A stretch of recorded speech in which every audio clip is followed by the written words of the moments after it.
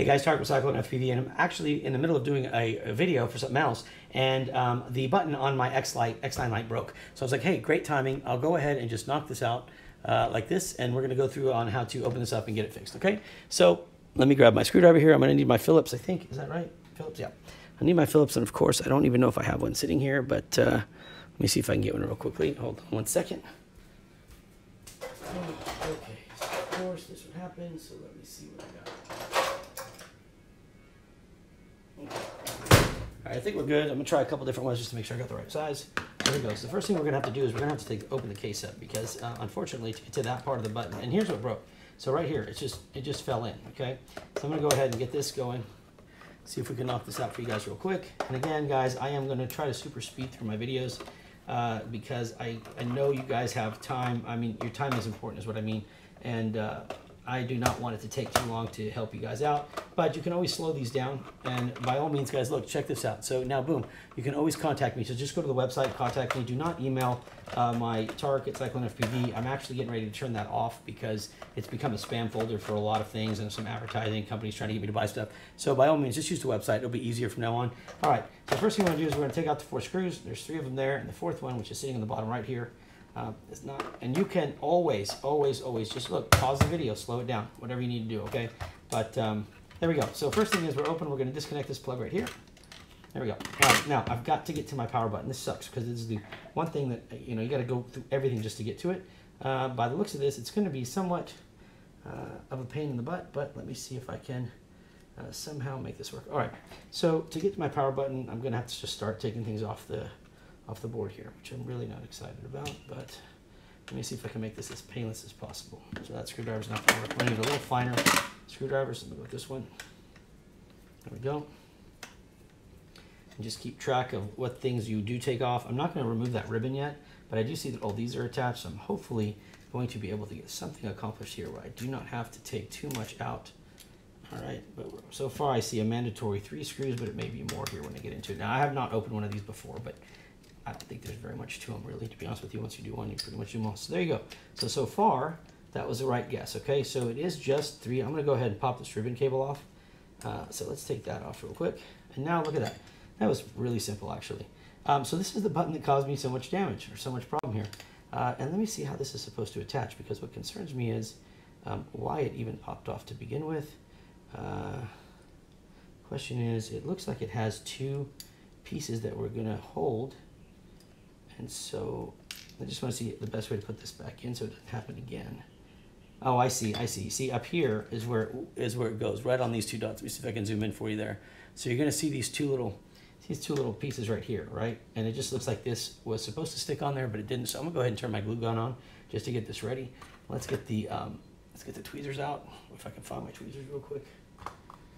Yep, here they are. Okay, so what we're going to want to do is we're just going to want to place this right back in there and we got to get it lined up on that on those two holes, right? And you've got to go, there we go. So now with that there, I'm gonna wait for the glue gun to just heat up here real quick. Um, and, uh, and then we're gonna be good to go. We're gonna put that back in, then we're gonna get started with the rest of the video, okay? Just kind of kind of a bummer deal that I ran into some bad luck there real quick. Um, I guess I could use some super glue if I wanted to. Let me go do that. see if I get this. Just so that we don't have to wait, I'm gonna use some quick, quick curing super glue. Uh, so let me, all right. So I'm going to just put a drop here. If it'll come out, hold on. Yeah, there it goes. Okay, so I'm going to put one drop here. There we go. And one drop. There we go. All right, so we got some super glue on there. Now, I want to spray it so it can cure quickly, but I don't want to spray the whole thing. So let me see. Um, guess my best bet, you know what? Tell you what I'll do is I'll make this about as easy as I can by putting something around this so that I don't spray the whole piece, but I do need to get this sprayed. So let me just, let me knock that out. Okay, there we go. Now I'm gonna go ahead and get some, something here and I'll just dab it dry. We'll call it a day. All right, so with that done, I'm just gonna go ahead now, and this is an alcohol wipe. All right, and that's just gonna clear it all up for me. There we go. All right. Let's zoom out now. Press on that button. Perfect. That's exactly what I was hoping for, which is right there. Excellent. Okay, so now let's go ahead and put this back on. It's fairly easy actually. Only uh, only seven screws total to do this, so that should make it very easy for everybody. Now we're gonna put this back on. I am in turbo mode today, so hang tight with me as we zoom through the rest of this work. Okay.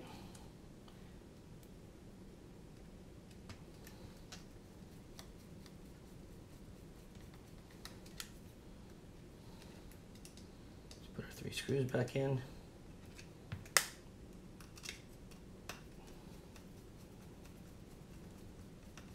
All right. Put our ribbon back in, and remember, make sure this uh, brown clip is out. Then we'll push our ribbon back in. I'll just use some tweezers to make sure it's in properly. Yep, and then push the brown clip down, and that's it. So that's sealed now in there, and that's it. Now we're just gonna basically come in here, put our red and black back on, like that. Okay, and then go ahead, put everything back, and look at that, how nice that goes back together. And we're done. That was a really quick, oh, let's see, total six minutes of which I, will give I'll give one minute to finding super glue and um, and the screwdriver. Okay, so it's really not that long of a thing. It takes longer, I think, to almost screw the screws in than it does do anything else. So there we go.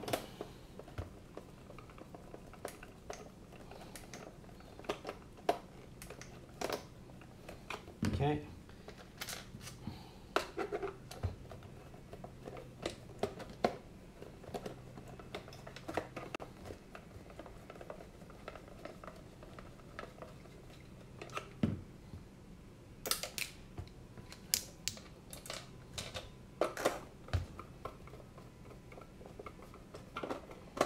All right, last screw, and then we're gonna put the batteries in and make sure that we're good. Okay, let's make sure everything's good. Now, I don't know if these batteries are charged, so if this doesn't come on, it's not gonna be the radio. It could most likely be my bad battery, but let's just see. Yeah, I don't, I don't have any power coming on from my batteries here, so I think one of my batteries may be bad, but I'm not sure.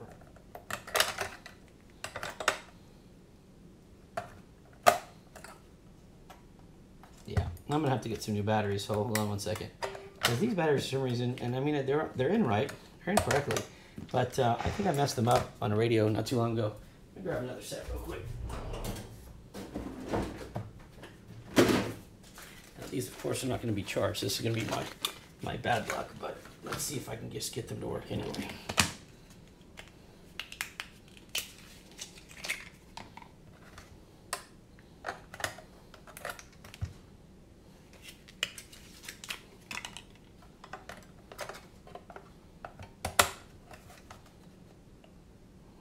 So it is the batteries. There we go. So we're good to go. I don't know what's wrong with these. I'll have to check them out. Let me see. Which one is not getting any power? I'm just curious here, guys. I know that's not part of the video, but I'm curious just to see. So let's see what we got. So we got ground and power.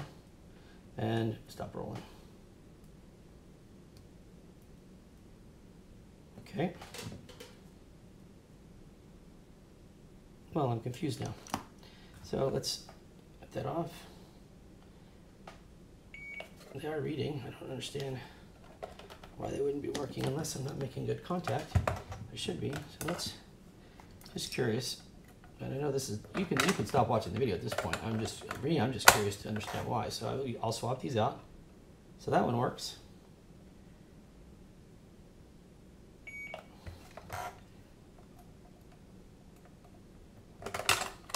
Let's try the other one.